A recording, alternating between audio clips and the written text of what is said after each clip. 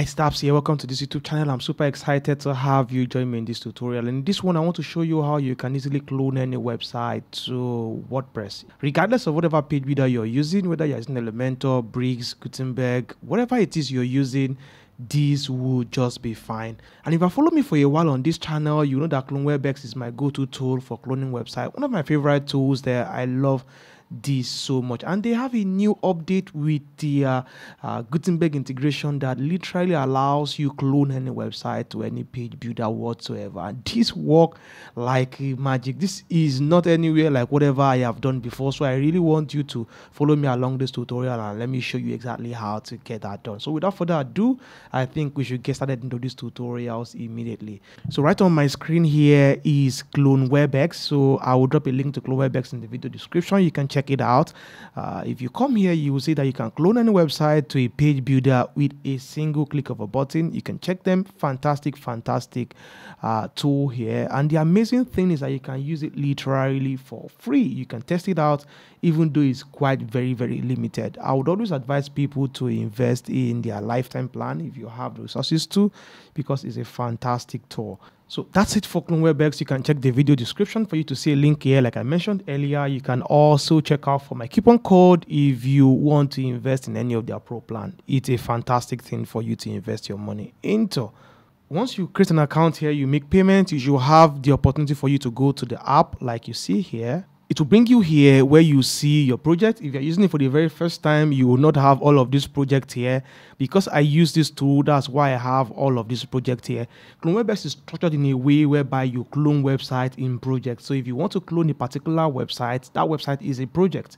So if regardless of how many page that website is you can clone all of those pages inside of one project and that uh, is good for sorting things out here so what we want to do here is to create a project. So for the purpose of this example i want us to just clone any random website and this is me making a disclaimer that i'm just making this tutorial for educational purposes alone and nothing more than that. I am not encouraging you to clone people's website. I am doing this just for you to see how this would work so this is a random uh, platform that sell WordPress themes. So let's scroll down. They have quite a number of themes here uh, that we can easily just uh, use for tutorial. I'm just looking at what would be fine okay maybe i should work with your beauty products you can see this oh, this is a beautiful beautiful uh, landing page uh, for example let's just work with this so what i would do is that i'll just pick the url here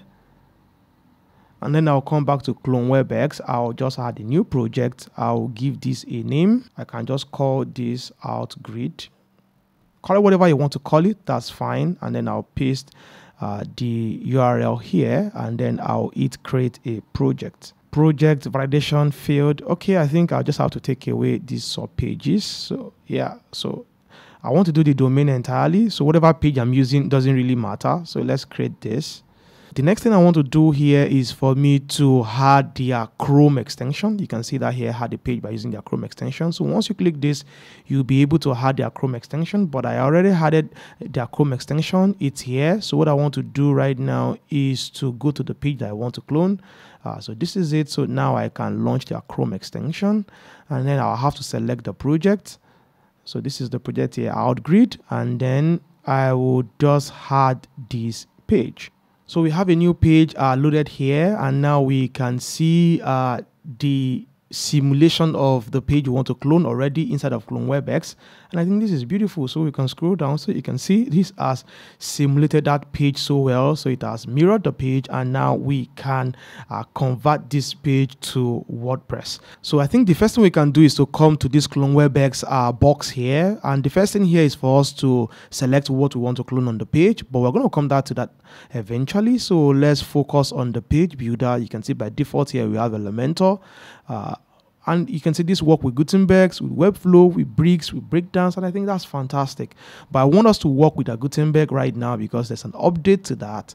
And also you can see that we ha now have this option here for export type. We can either go the selector or we can just go for the entire page. Uh, ideally, it's okay for you to clone the entire page if the pages are well designed, but sometimes you have designs that are very complex. Uh, this tool find it very hard to clone the entire page. So I will always recommend that you clone this section by section. For example, uh, this can be a section uh, if you scroll down, this again can be another section. This can be another section. You can break that down. It will help you for easy cloning. Uh, you can see that we have a requirement here. It says that we should download their uh, plugin. So once you click on this, this should download the plugin into a browser and we can also reduce the DOM size. That's also a possibility. So if you do this and the design is not coming out well you can also turn that off. You might be able to get something good. So i think this is good. So now let's come up here. Let's come to our selector. Since we're not going the entire page route let's just work with uh, the selector. Uh, so right now I can uh, go with this first but I'll just ignore that first. Let me just come to the second one here and then once I click on that, you can see this is the current selector and this is the parent selector. The parent selector basically is to clone the entire page, while the current selector is exactly what I have just selected. And what if you want to be sure exactly what you'll be uh, copying, you may want to toggle this it will just uh, highlight exactly what wants to be colored. So you can see that that is gone. So that's exactly what we are going to be copying. So i'll select this. So you can see i have the css code here. And the next thing i want to do is just hit the export button. If you are using this for the very first time, Chrome can ask you to allow this uh, plugin to read your clipboard. So you can see here, this has been copied to clipboard. And the next thing I want to do is to come back to our WordPress website. So I have a default WordPress website here and you can see I have Elementor installed here already. I prefer to use Elementor, but again, like I told you, we can use this for any page builder and I'll show you how this work. So the first thing we want to do inside of WordPress here is for us to install our Clone CloneWebX plugin. So let's come to plugins, let's come to add new and then let's upload the plugin and then let me come to my download. This is the softlight plugin here so i'll drag that here and then i'll install the plugin. All right so let's activate this. So once this plugin is activated now let's come to pages let's come to add new. So you may want to clone this to existing page that's fine but in my case here i want to uh, add a new page so i can just call this dapps or call it whatever you want to call it is fine and then i can paste whatever i've copied. And you can see i now have the design here and i think this is amazing. Now let's even check what this look like in other device. So you can see this is quite responsive even though I can see some alignment issues here, but I think that's something that can be sorted out.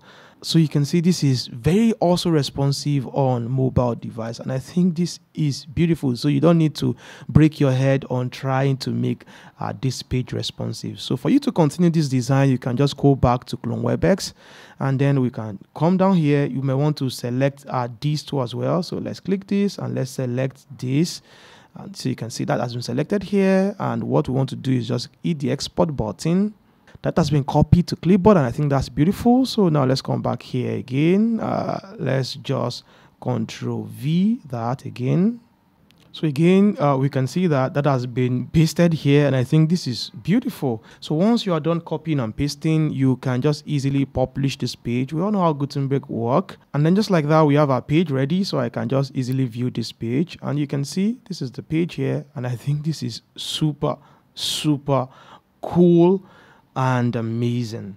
Uh, so right now, let's say we want to use this inside of Elementor, inside of a Divi or whatever page builder you're using whatsoever. So now let's come back to the backend.